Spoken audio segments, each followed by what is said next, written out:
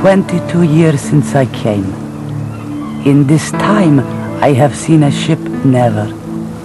But I remember the sea on my face, in my hand Polish bread, cheese, and in my sack whiskey, a present for my cousin Tadeusz, my cousin in America.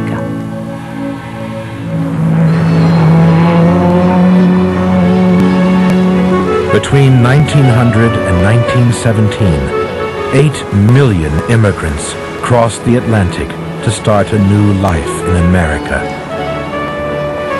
In this new world, it was said, there was a chance for everyone to succeed, to prosper, to live the American dream. But how far could America fulfill such expectations?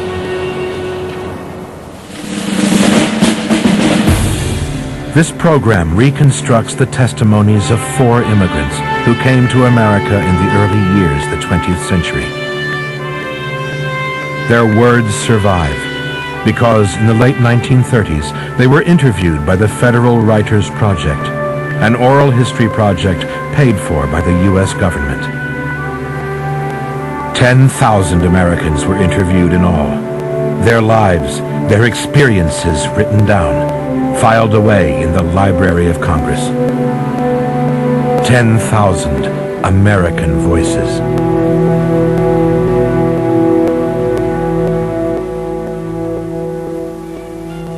You like to see pictures of old country?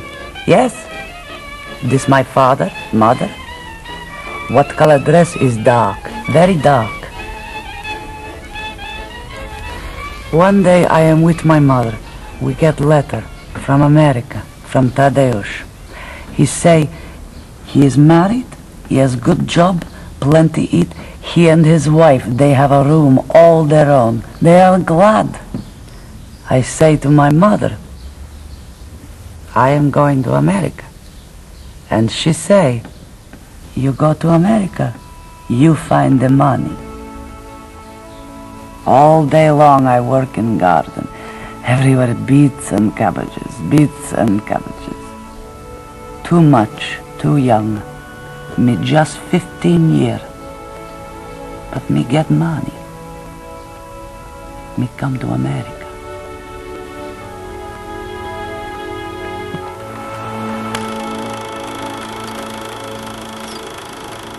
The year Catherine Corona left Poland, 1916, Europe was tearing itself to pieces.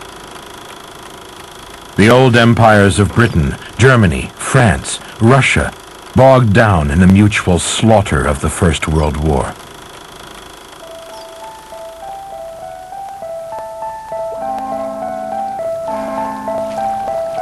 The immigrants that arrived in America turned their backs on this old world. They fled the poverty of peasant life. They fled a world governed by class, stifling opportunity.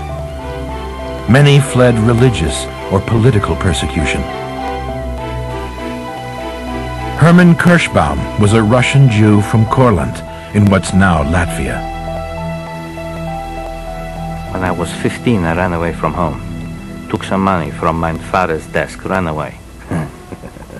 I had no passport, but in Europe, with money, you can do anything. I got a boat to London. I met this English Jew. He said, America's the place. You see, I had no trade.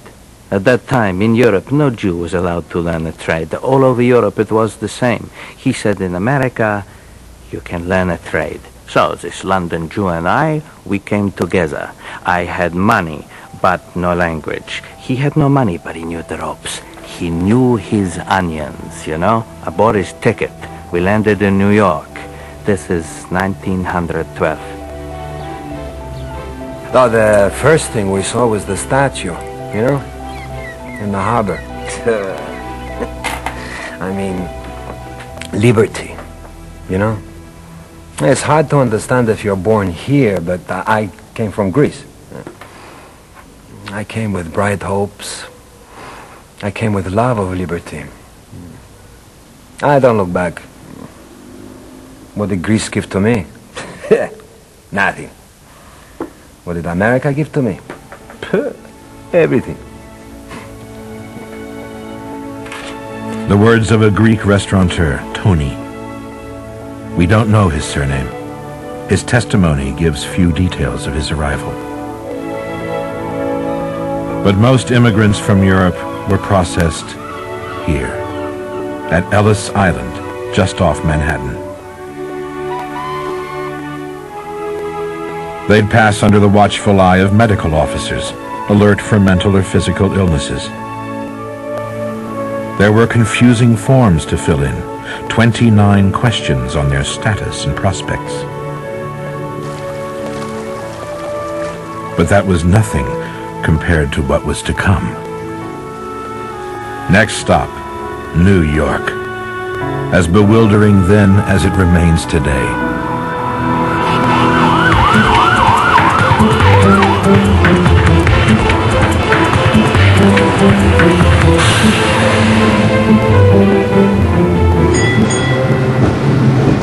Miguel Santos, an optician from Cuba, saw New York first in 1904. I am looking at this electric streetcar, and I am thinking, how can he move without horses? I go to the museums, I go to the aquarium, I hear Caruso sing at the Grand Opera. I see so many things. The Flatiron Building, and the Brooklyn Bridge, and the subway, and down at City Hall, the rush hour. One thing I do not like is I cannot sleep because of the sound of the elevators. The noise. Always the noise. You get used to it. I thought New York was the best city in the world. I still do. I walked into this restaurant on Rivington Street. It's on the corner of Eldridge. Uh, I remember it as well as yesterday. I, I should drop down dead if I didn't, for 15 cents, buy a four or five course meal. I had soup, a big meat order, and good. And dessert, tea, coffee, and on top of that, they gave you a big soda, you know, from the soda fountain, free. And if you give the waiter a nickel tip every week, he's your friend for life.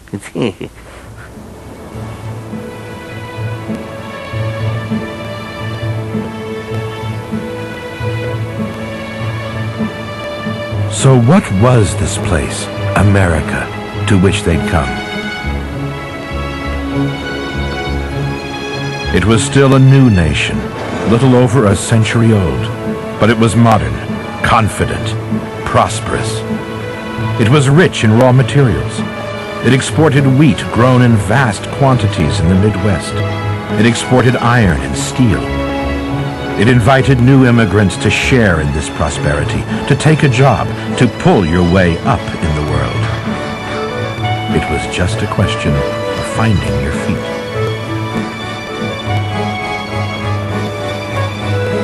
Hermann Kirschbaum settled in what he called the Jewish ghetto on the Lower East Side. It's around Seward's Park, you know, and a little further down, plenty of Jews there.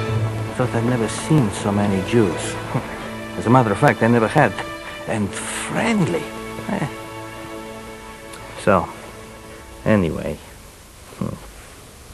my money runs out. I have to start working. I, uh, I sold shoelaces for a while. Then I got a chance to learn the fur business. I jumped at it.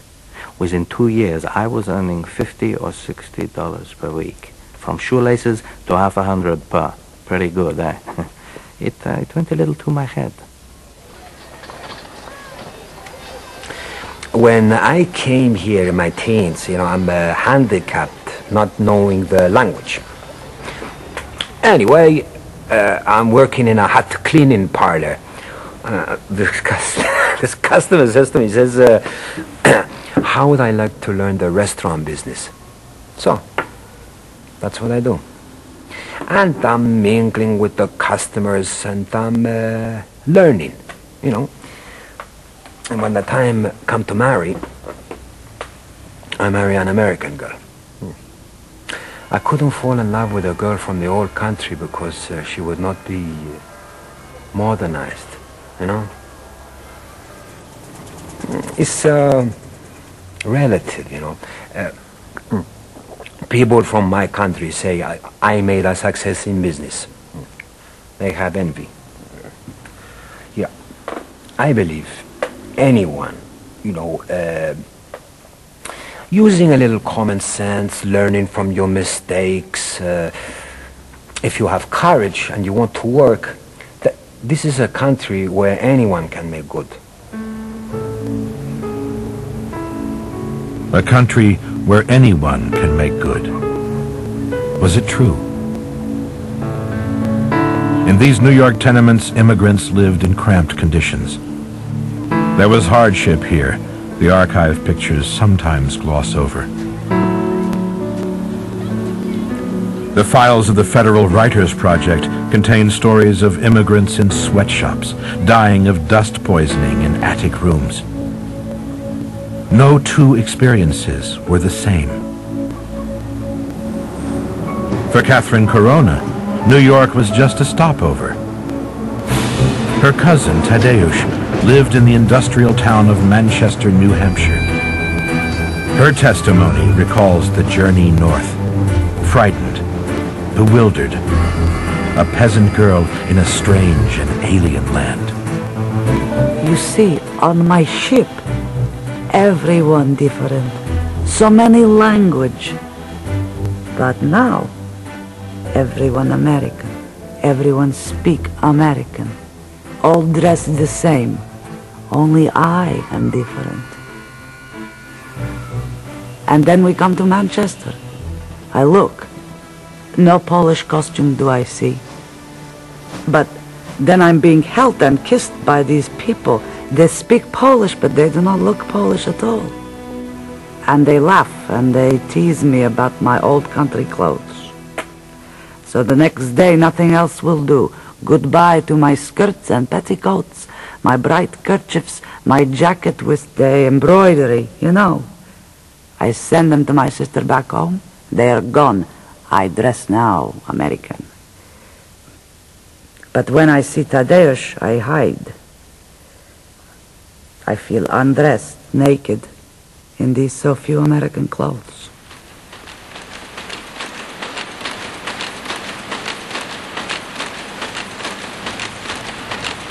Tadeusz had arranged for Catherine to work here, in the Amoskeag textile mills.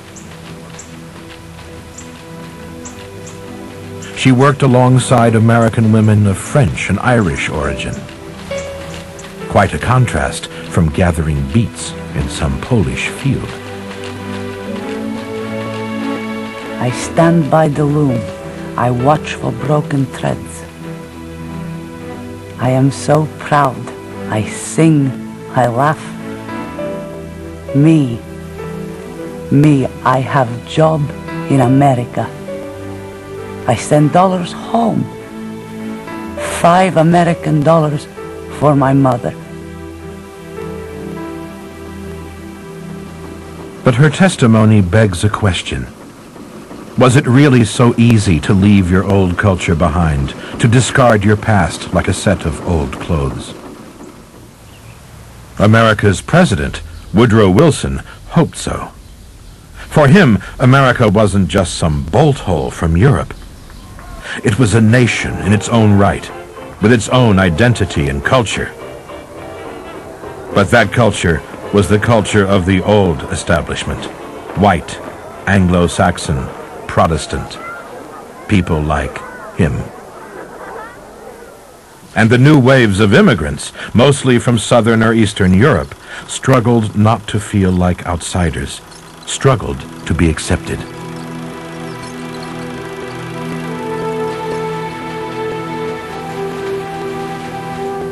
I spent there two years on the same loom. And always a little trouble here, a little trouble there. There is a girl next to me. She does not like to see me happy. She says something I cannot understand. The others look at me and laugh. One day she trips me and I fall. I break my finger, my food is fallen on the floor. Aye, aye, Pollander. Aye, aye, Pollander. I have no lunch that day. I have dignity. I will not eat the food from the floor. Sure, sure, yeah, I had trouble like that once. Um, I was on a streetcar. Uh, not long after I arrived, uh, I was looking out the window. Uh, I saw some schoolboys. Maybe I look funny to them, I don't know. Anyway, one of them had a, a rock. Uh, he throws it through the window. Uh. It's uh, a deep cut, you know, it bled pretty bad. Yeah. yeah, so excited to be in America. It made me feel uh, a little unwelcome. But that was a long time ago.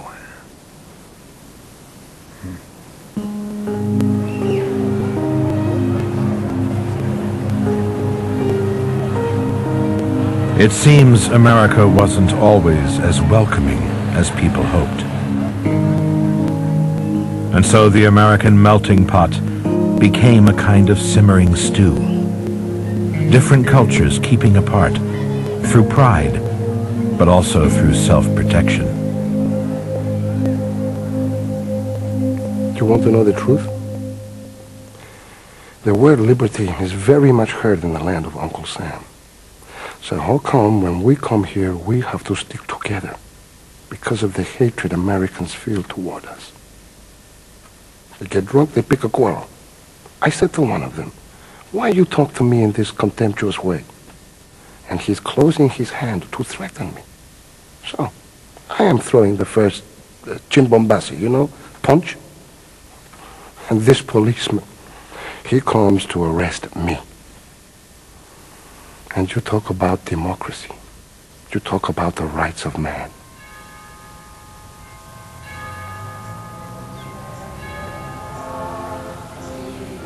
In Manchester, the Polish community remains strong.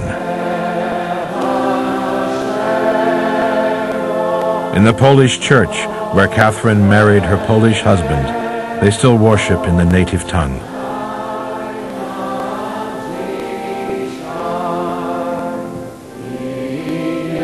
It was a balancing act, becoming American while keeping your own culture intact.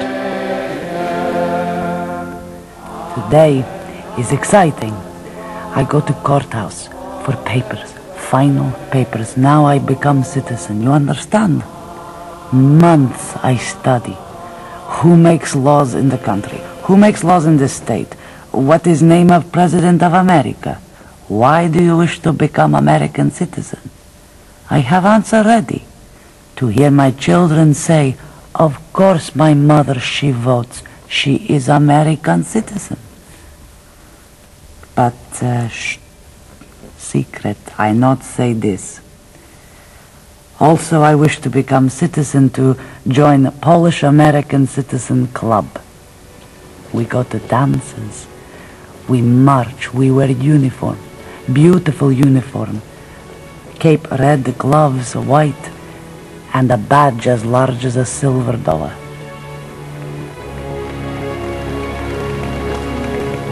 In 1917, Woodrow Wilson attempted to unify this simmering stew of cultures in a patriotic crusade, joining Britain and France in the war against Germany. For two years, the United States had grown rich trading with the Allies, sustaining their war effort. When Germany threatened this prosperity, the delusion of American neutrality sank. The call to arms challenged all Americans, immigrants included. When the war broke out, sure, I joined up. I joined the Navy. I saw some fighting. My friends, they told me I was crazy. But uh, no, I was proud to wear the uniform.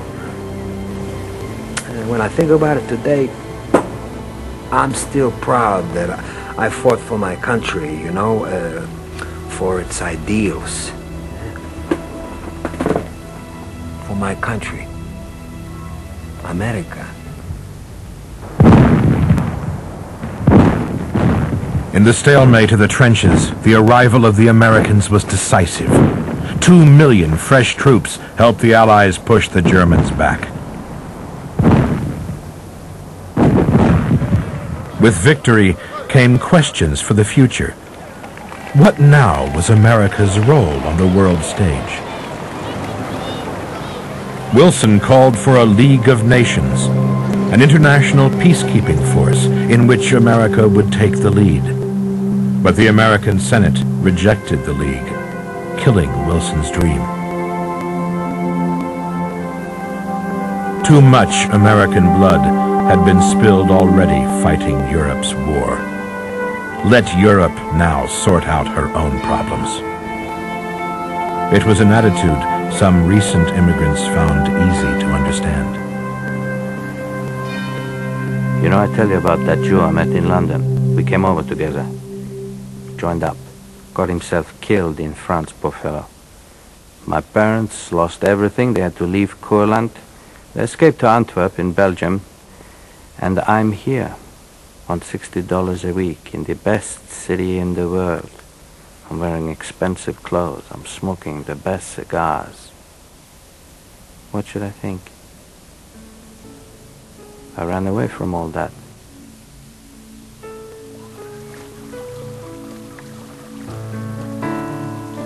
From 1918 to 1924, another million immigrants arrived at Ellis Island. But America was closing the door, limiting the flood of un-American people, un-American ideas. They imposed literacy tests, quotas. Meanwhile, those who'd already arrived learned in their turn what it meant to be American. Nations within a nation.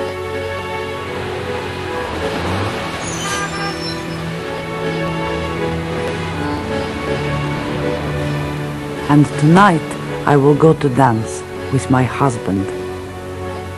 I will drink beer, eat the little fish we make of pretzel dough. The sausage is good. And I will watch the men behind the bar, how they are moving, moving, never collide with patrons, with each other. Never do they drop a tray, a drink. And I watch it all, and I love it. This is freedom. This is America. Everybody glad.